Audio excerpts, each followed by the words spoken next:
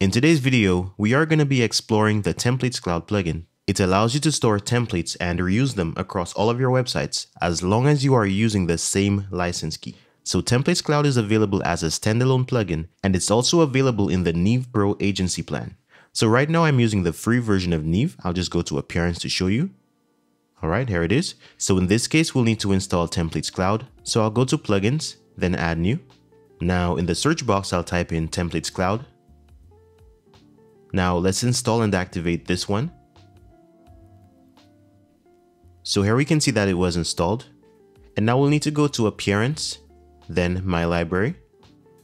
And now it's asking us to upgrade to Pro. So if you don't have the Neve Pro agency plan, you'll need to purchase Templates Cloud separately. Just click on Upgrade to Pro, and on this site, click on Upgrade Now. Now in my case, I'll go back and click on I already have a key, since I do. And I'm just gonna go to my Themeisle account and copy my Templates Cloud key. So right here, I'm gonna click on copy and I'll go back and paste it in this field activate. Okay, and now that it's verified, we can go ahead and close this. Alright, so as we can see here on this page, we have separate tabs for each of the supported page builders. And right now we have no templates, but I'm going to show you guys how you can add your own. We'll start with Gutenberg. So let's hover over pages and we'll go to all pages in a new tab. And I have a page here called monthly pricing. So let's open it. Alright, here it is and we are going to save this to the cloud. So let's go to the templates cloud icon over on the right. It's right up here. And we can now save our page to the cloud and I'm also going to keep automatic sync on and that ensures that updates to this template will be pushed to the cloud as well. Alright, so once it's saved, we can actually go ahead and view it inside of Templates Cloud. So let's switch tabs. Let's refresh. Okay, so we actually need to go back to our library. And here's our monthly pricing page. Okay, so now I'll show you how to save just one block to the cloud. We just need to click on the block and click on these three dots, then click Save to Templates Cloud. We can give it a name, I'll call it Basic, and I'll click on Save.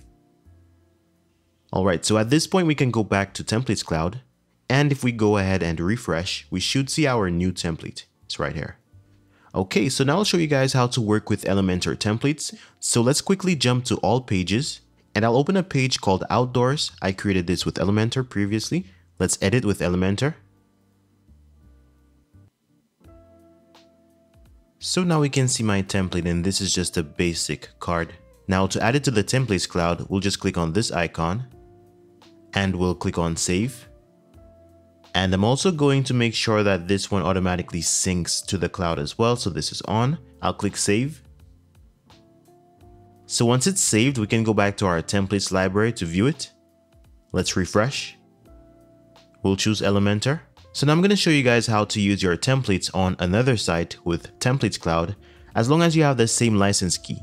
So right now I'm in my dashboard on a totally different WordPress website.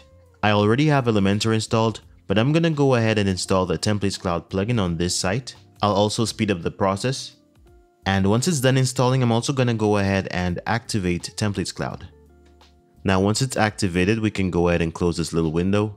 And let's also click on this sync icon right next to it.